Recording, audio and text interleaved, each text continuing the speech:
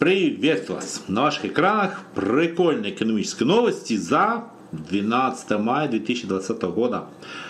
Ну что сказать, про то, что карантин надо отменять, уже как бы везде все пишут, рассказывают. Ну, вы, наверное, знаете, что Путин карантин сегодняшний дня отменил. Хотя он там назывался не карантин, не рабочие дни. Ну, какая разница, как он называется. А у нас сам президент Зеленский высказался, что да, необходимо, то есть никакой ясности. И вот меня все поражает. Ну, или ты говоришь четко, или вообще не говори. Потому что общие фразы, что благодаря карантину смертность в Украине, да мы без тебя знаем, что карантина если не было, смертность была такая самая. Что там каски рассказываешь про этот коронавирус и про то, как улучшилась медицина. Не позорься. Медицина как была бардачной, так и есть. Всегда интересно то, что министр здравоохранения сказал, что надо выделить 40 миллиардов гривен для того, чтобы благословить медицину. Короче, воровать, воровать и воровать. Ну, ребята, что есть, то есть. Но сделаем небольшую паузу и обратимся к заявлению Министерства экономики Украины. Точнее, это сейчас Министерство развития экономики, торговли и сельского хозяйства они сделали предварительную оценку э, роста ВВП за первый квартал 2020 года. Ну, не обязаны это делать. Но еще раз говорю, это не Госстат, это Минэкономики. Они посчитали, что за первый квартал 2020 года ВВП Украины упало на 1,2%, ну, по сравнению с прошлым. Еще раз говорю, это предварительная оценка, окончательно может отличаться. Что они посчитали? Ну, есть такой так званый индекс, э, общий индекс производства. Так вот, он упал на 3,8%. Это если брать, ну, скажем, производственные отрасли. Да, не меньше, не меньше, падение есть. Ну и, в принципе, дальше они пишут, что да, малый бизнес, так дальше, так дальше. Ну, то, что падение, не, ну если действительно падение 1,2%, это немного. Я думаю, будет больше. Вообще, по большому счету, действительно, скорее всего, за второй квартал будет обвал очень сильный. Очень сильный. Так что, что имеем, то имеем. Теперь будем расти, расти, расти, расти. А пока мы растем, Значит, смотрите, Верховной Раде хотят принять закон, который должен помочь э, бизнесу, как бы сказать. Сейчас объясню, в чем логика. Предлагается этот законопроект есть, там 33-29D, но его он прошел комитет. В чем логика? Предлагается еще на один месяц освободить э, упрощенцев от сплаты единого социального взноса. То есть не надо будет платить.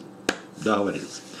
Потом предлагается э, дополнительно выделить денежные средства. Э, звучит это так. Частичная безработица на время э, карантина. То есть, другими словами, то, что я говорил, что работодатели, в том числе малый и средний бизнес, будут иметь право обратиться в фонд в данном случае борьбе с безработицей и выпросить деньги, и за счет этих денег выплатить что-то наподобие пособия по безработице тем людям, которые не работали во время карантина. Пока это еще непонятно, как будет, сразу говорю. Э, есть такая идея, есть даже документы, пока не платили. Ну, как вы догадываетесь, на это надо выделять деньги. Ну, вроде может быть. Что еще? Какую льготу?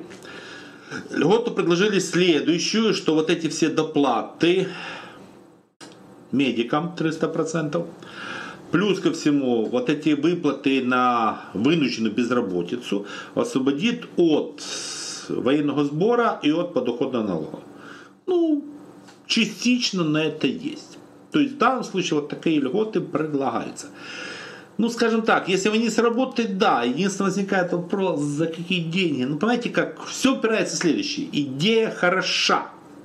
Деньги. С одной стороны, говорят, да, налоги можно не платить, с другой стороны, мы вам дамо из госбюджета льготы. Деньги где брать? Ну, там, вот, вот это вот, ну, там оно всегда нас подбивает. Но, хотя в наше-то время я так понимаю, льготы это не самое главное. Почему? А потому что цена на бензин в Украине снижается. Ну, вот смотрите, это ассоциация, ой, извиняюсь, консалтинг группа А95 посчитала, что 20, ну, в конце э, апреля месяца средняя цена на бензин марки 95 была 23,75 гривен. Сейчас, ну, то есть уже 12 мая, средняя цена на бензин 21,86. Ну, пару гривен, так, гривен, да, снизилась. Нет, спорить не буду. Да, действительно, немножко, чуть-чуть цена на бензин снижается. Ну, газ подешевел. Да, спорить не буду. Действительно, газ подешевел. Ну, что, работает? Ну, многие объясняют, э, почему снижается цена на бензин, спрос падает. Да, не спорю, это сказывается. Ну и плюс ко всему сейчас действительно запасы нефтепродуктов просто колоссальны. Вот все статистика, просто колоссальные запасы нефтепродуктов, поэтому ждем дальнейшего падения. Очень хочется, чтобы цена на бензин 95 была ниже 20 гривен за, правильно, правильно, за литр. Так, еще такая новость, ну, давайте назовем его новость сферы шуток. Значит, опять очередное заявление, но в данном случае у Автодора, который сказал, что в него не хватает рабочих рук, он с удовольствием возьмет на работу э, астарбайтеров, так дальше, так дальше, так дальше. На дурной вопрос, вы будете платить, зарплата будет на уровне европейских. Врут, врут, врут. Но начнем с того, что рук хватает. Не хватает денег хорошо разворовать. То, что Укравтодор ворует, это просто ужас. В результате что получается? Та сумма денег, которая доходит до тех, которые делают дорогу, она ничтожно маленькая. За эти деньги, ну, песок рассыпать нет. По этой причине проблема не в отсутствии рук. Проблема в том, что люди за 2-3 тысячи гривен работать не хотят. А получается так, эти украли, эти украли, эти украли. И когда пришла сумма денег вниз, там такие маленькие деньги, что ну просто нанять нельзя. Да, конечно, руководство Автодор не в курсе, они не знают, кто ворует. Мы понимаем, мы все понимаем. И смеемся дальше. Нацбанк опубликовал данные работы банков за первый квартал. Ну, вы же понимаете, что банк издает отчетность, считает, рассчитывает. Ну, скажем так, да, количество банков, которые зафиксировали убытки, стало больше. Но это логично. Почему, сразу объясняю ваше внимание, есть бухгалтерские учеты и налоговый учет, это бухгалтерский. По бухгалтерскому учету убытки чаще всего образуются, если растет количество проблемных кредитов. Не хочу вас перегружать, как это делается, но по учету происходит вот такой трюк. Как только растет количество проблемных кредитов, сразу формируются так называемые бухгалтерские убытки. Да, действительно. На сегодняшний момент, ну, согласно этих всех расчетов, ну, практически 50% всех кредитов в Украине проблемные. Что значит проблемные? Не платятся ни проценты, не погашаются. По этой причине, когда я слышу разговоры, мы будем развивать кредитование бизнеса, я говорю, мы смеемся вместе с вами. Но поймите, для того, чтобы кредитование бизнеса развивать, надо, чтобы у нас кредитование, чтобы не было этих убытков. Они есть. Сразу говорю, это все заслуга Гонтаревой. Если бы не было Гонтаревой, этих убытков бы не было. До Гонтаревой общее количество проблемных кредитов не превышало, не превышало 15%. Сейчас много. Причем самое интересное то, что каждый год говорят, вот сейчас будет уменьшаться, проходит, о, опять выросло. Конечно, выросло. Зачем Майдан делали? Зачем Гонтарева поставили во главе НБУ? Сейчас кушайте, а что же хотели? Украла прилично. Ну и свежая новость. Наш премьер-министр заявил, что Украина, скорее всего, подпишет меморандум с МВФ в конце мая 2020 года. Боже, сколько раз я это слушаю. В прошлом году, в этом году, я вообще не знаю, зачем вам этот меморандум, зачем вам этот МВФ. Что, вы знаете, как дурень с торбою, а так вот с МВФ бегает. Мы подпишем, мы сделаем. Да зачем? Что это даст? Инвестиции будут, прекращайте бред нести. В мае 2014 года тоже подписали меморандум. Тоже рассказывали, что будут инвестиции. Помните, говорили 70 миллиардов, 50 миллиардов. Где? Нету. Это ложь. Меморандум вообще нафиг не нужен. По этой причине, даже если мы его подпишем в конце мая, неизвестно какого года, сработает. Глупые вещи и даром не нужны. Интересная новость, но здесь я согласен. Министерство финансов Украины заявило, что есть большая проблема и с переизбытком учителей. Да. Значит, смотрите, у нас же существуют так званые нормативы, сколько школьников, сколько учителей. Исходя из этих нормативов, рассчитывается субвенция с госбюджета, которая приходит, ну, соответственно, в местные органы власти, и там уплачивают зарплату учителям. И вот когда посчитали, ну, возникли перекос. Министерство финансов говорит, да, колоссальный перекос, согласен. Надо немедленно закрывать излишние школы. У нас есть громадное количество школ провинции, где учеников меньше, чем учителей. Я не шучу. Я не шучу. У учеников 8, учителей 10. Целая школа. Говорит, ну, закрывайте немедленно. Да, действительно перекосы. У нас, понимаете, какая ситуация? Если взять весь бюджет Украины, 22%, повторяю, 22% всех расходов от бюджета Украины это образование. Из них там почти 20, 20 это на школу. Сумасшедшие деньги идут. Размазывают по всем. И говорит, у учителей маленькая зарплата. Конечно, маленькая. В шею гоните, гоните в шею, уменьшайте количество школ. Да, зарплата будет нормально. Знаете, э, встречал учителя, который работает в Турции. Вы знаете, что у них высокая зарплата? Да, ну по украинским меркам сумасшедшая высокая. Почему? Там нормальное соотношение учителей и учеников, а у нас ненормально. Пока мы не сделаем как в нормальных странах, хотя бы как Турция, у нас никогда нормальной зарплаты учителей не будет, ребята. А деньги выделяются колоссальные. Новость, которую нельзя было не пройти. Харьковский тракторный завод полностью восстановил свою работу после ну, карантина. Я знаю, что он не работает на полную мощность, это все понимают, и то, что в таком большом количестве не нужен, я знаю, что там пытаются уменьшить, оставить только, так сказать, нужные цеха и так дальше. Но, видите, как олигарх сказал, сделал, завод работает, карантин закончился, может действительно надо олигархов поддерживать, чтобы карантин закончился. А то же видите, как творится. Не помогают, и все. А эта новость действительно, ну как мне кажется, хорошая в каком смысле? Министерство инфраструктуры сделало план запуска общественного транспорта. Не, надо должно действительно туда-то есть. Да, ты понимаешь, душа. До этого, ну, все начинается какие-то цифры. Значит, рассказываю. С 22 мая, тут так прописано, запускаются городские автоперевозки, кроме маршрутных такси. Ладно, говорили, маршрутные такси можно.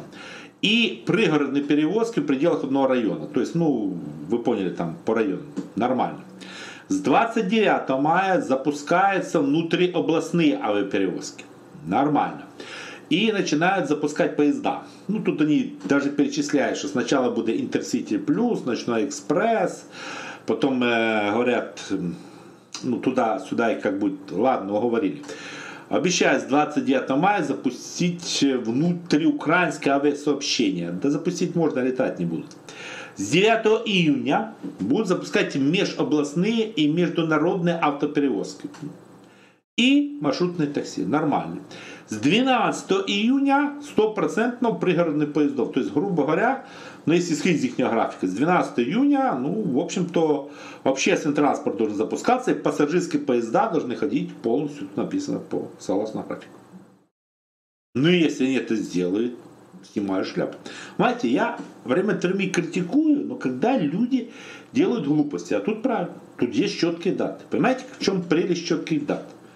Четко можно запланировать. Хорошо, Пускай эти даты, я же ничего не против, ну понятно.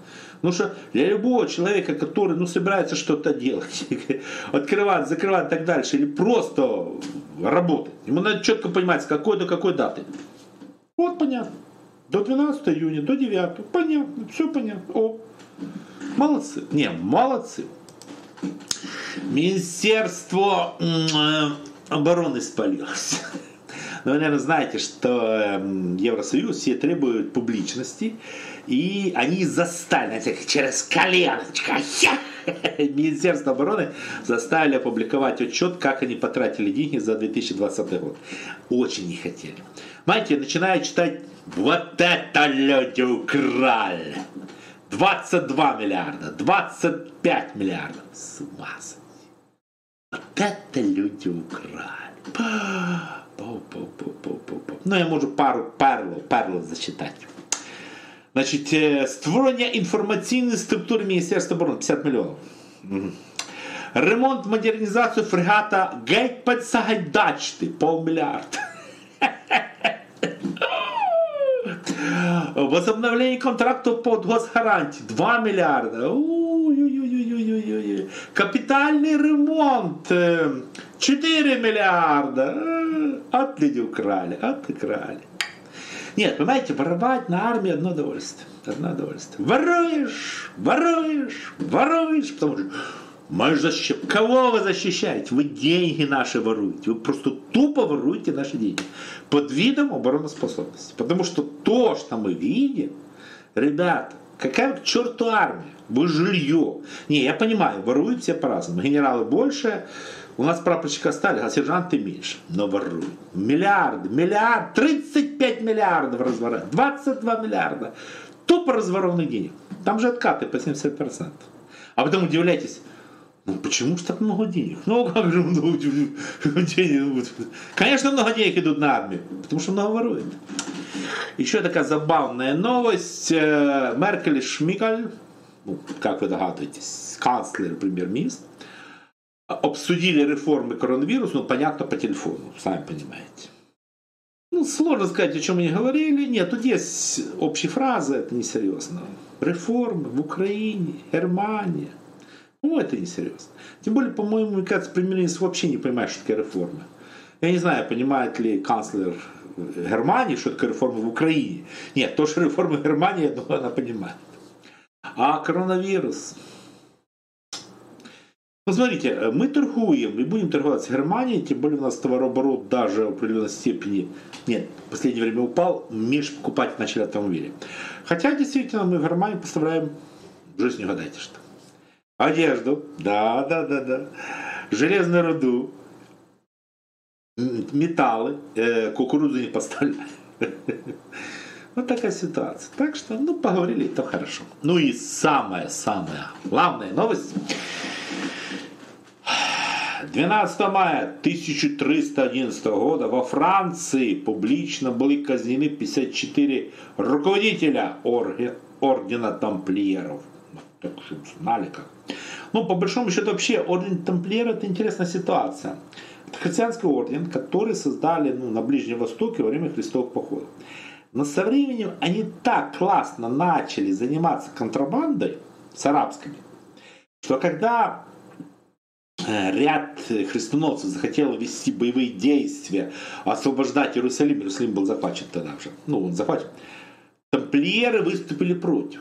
Зачем воевать с арабами, если мы с ними торгуем? И действительно, надо дать должное, тамплиеры ужасно разбогатели на незаконной торговле между, скажем, Востоком и Западом.